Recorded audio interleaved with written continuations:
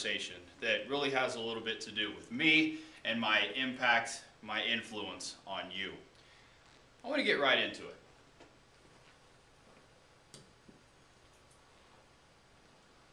You ever thought about who I am?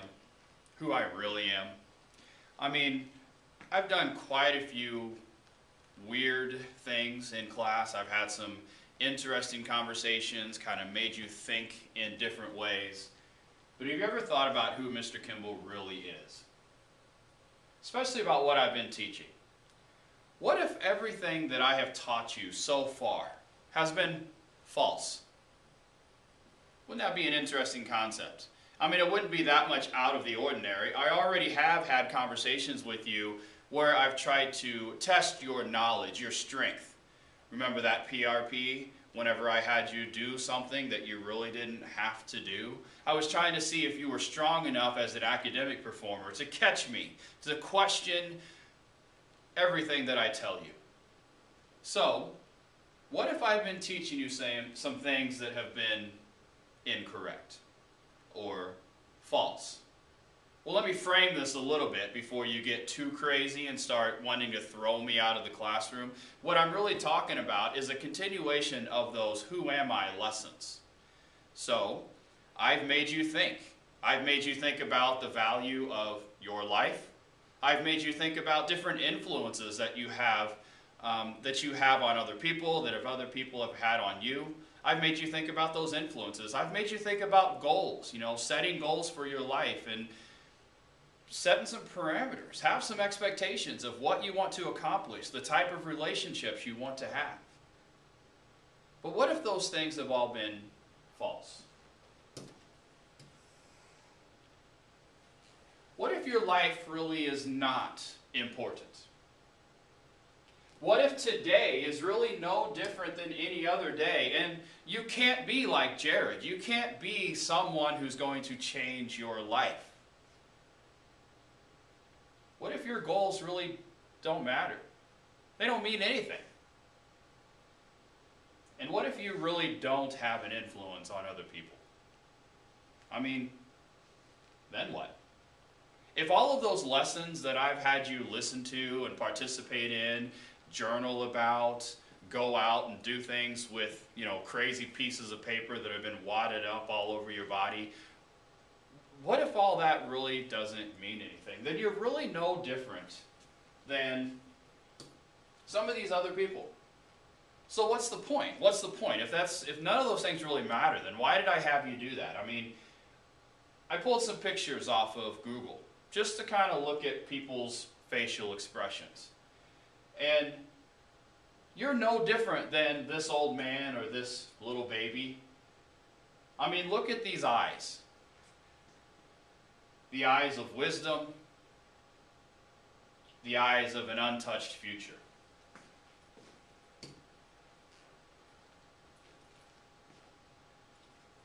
The knowledge that she must have, the ambition, the life that this man must have led.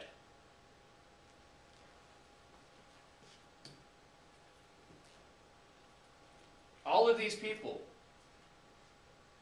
full of hopes, dreams. They have expectations placed on their life. In most cases, the people I've shown you, I don't know them personally, but I know from looking at the dates that were listed on Google, most of these people have already passed away. They're gone. Their life has been and is no more. Some of their lives are, I'm sure, still continuing and They've made some decisions, made some choices. But if I'm trying to teach you that there are expectations, that there are goals, that there are influences, what if I taught you all those things and everything was wrong? Everything was false. It's a lie. None of those things really matter. So, what now?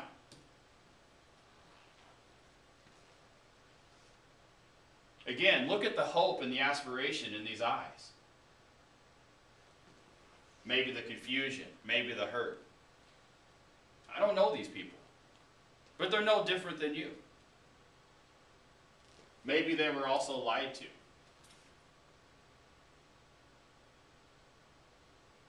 Who knows what these lives ended up being? I have no idea. So, I guess what I'm really trying to tell you is that uh, you don't matter. You don't matter. You don't mean anything. You don't matter. You don't matter. Those are three sad little words. But you see, that's the other side of what I've been teaching you. So if I'm teaching you that you have influence, you have goals, you have expectations, then the other side of that conversation is that you don't matter. If I'm trying to teach you that you do matter, then there's another side of the coin that says, hey, you don't matter. And there are people that really believe that. And if you've been told that, I'm sorry. But maybe it's true. Maybe you really don't matter. Well, if that's the case, and these lessons really don't mean anything, then go ahead. Do what you want, when you want, how you want, with whom you want, and as often as you want. I mean, if you really don't matter, then it really doesn't matter what you do. So, have at it. Walk out of this room. You don't need to hear any more. You don't need to walk that stage in a couple years, graduation. You don't need a degree. Just go ahead. Play your video games. Watch television. Stay on the computer. I mean, if your life doesn't matter anyway, then what does it matter what you do? Or, the other side of that coin is, you do matter. And if you do matter, then your choices, every one of your choices, has an impact on somebody or something. I mean, you ever think about that? That's why so many people make their living trying to get your attention. I mean, how many people try to get your attention? You're the target audience. You are high school students. You are the target audience for today's pop culture. Everything is pointed at you, trying to get your attention. So, you do matter. You really do.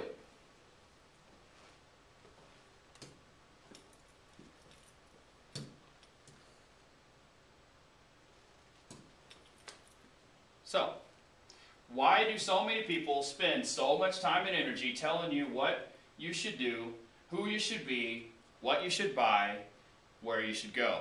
You know, these people that think that you matter, they tell you how to live, they tell you what you should believe, they tell you how you should spend your money. And honestly, it just never stops. They tell you what they believe you need to do.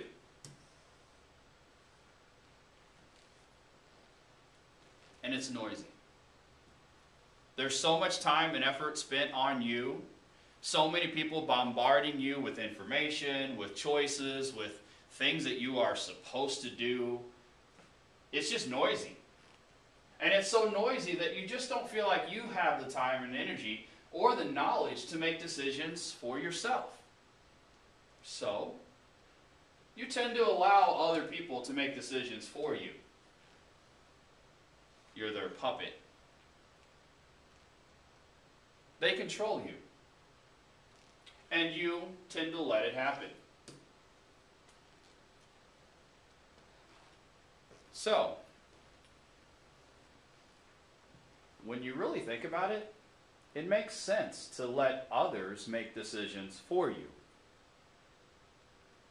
We've had experiences that you haven't. We know things that you don't. We're better than you. You're ignorant. You're lazy. You're thoughtless. Your desires are pointless. You don't matter. I do. I want to control you by only giving you enough information to let you feel like you know something. I want you to see things the way that I see them, and whenever you don't, I'm going to make you feel stupid or that your ideas are simply not worth anything. If you believe that I matter and you don't, then I win. You see, I believe that's what pop culture is telling you today. I believe that pop culture is trying to teach you that you aren't smart enough to make your own decisions. You're not strong enough to be the person that you were meant to be. I mean, do I have to keep reminding you about that PRP example in the classroom? Are you strong enough to know who you really are, to believe what you really believe, to shut out all this noise? See, pop culture wants to control you.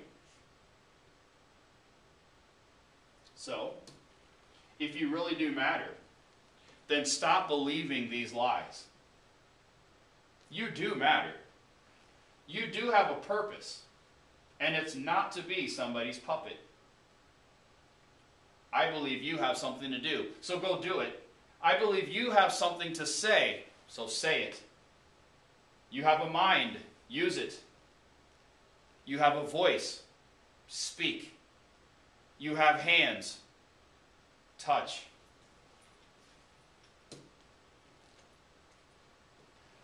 See, I really firmly believe that all of these lessons that I've been teaching you about figuring out who you are, I believe they have a point. Someone is waiting on you to help them get better. It's your job. Help them to get better. It starts with you knowing who you are and what you want to accomplish in your life. That's what all these lessons were about. It's not so that you can control others and keep them small, but you must figure out who you are so you can grow them and set them free to be the best person that they can possibly be. You see, I believe that's who I am. I believe Mr. Kimble was put on this earth to let other people understand their value and for me to be that spark, to be that person in their lives that says, Look, you do matter. And it's not because I want you to be my little puppet and I want to control you and I want to keep you small. No, it's quite the opposite. You matter because you have a voice, you have a mind, you have things inside of you that no one has ever experienced before. There's a quote that I love. It's, and I can't even remember who said it, but it says, God may have been looking for someone ignorant, ignorant enough to not know any better, to actually get something done. See, what that basically means is the world tells you you can't do things. People tell you you can't things. Teachers tell you you can't do the work. Your parents might tell you some things. People out in the community might tell you things. Your bosses might tell you things. And they all try to stop you from being the best that you can because they're going to keep saying, you don't matter. You're not important. Your thoughts, well, we've done it before and your thoughts are wrong. They're going to keep telling you that kind of stuff. But I really believe that God is looking for someone who is ignorant enough not to believe those things so that God can use that person to be better than what they currently are and ultimately change the world. So, who is Mr. Kimble? I'm the one looking at you right now, and I'm telling you wake up. Stop being lazy. Stop being selfish. Stop being ignorant.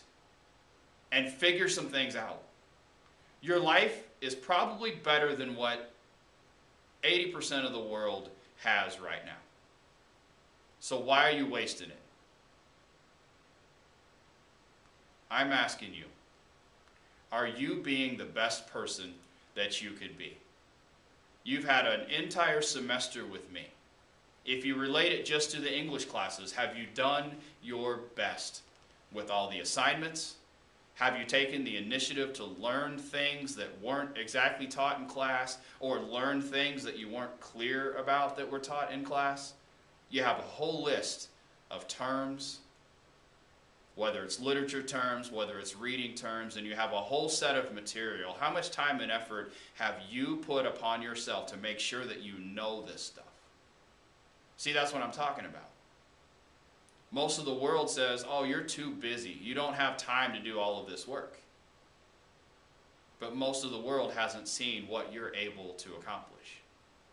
And whenever you put your best foot forward with the academic side of things, think about how good you're going to be with your career, your relationships. But if you just do enough to get by, then you're always just going to do enough to get by. Are you being your best? Do you recognize your influence, the good, the bad? Have you realized that your relationships are what you make them? You have an impact on other people, whether it's your parents, whether it's your friends, your boyfriend, your girlfriend, people you work for, even the government. Are you being the best that you can be? Are you setting goals for your life? If not, why not? If you don't have an end in mind, if you're not saying, hey, I want to accomplish this, then you're not going to accomplish much. You might accomplish some things, but if you don't have bigger ideas, bigger expectations for yourself, then you're going to get what you're looking for. And if you're not looking for anything, you're going to find it. But if you want something bigger, name it and then go for it. You see, guys, I'm that teacher that wants you to be the best that you can be. It's up to you. Now go do it.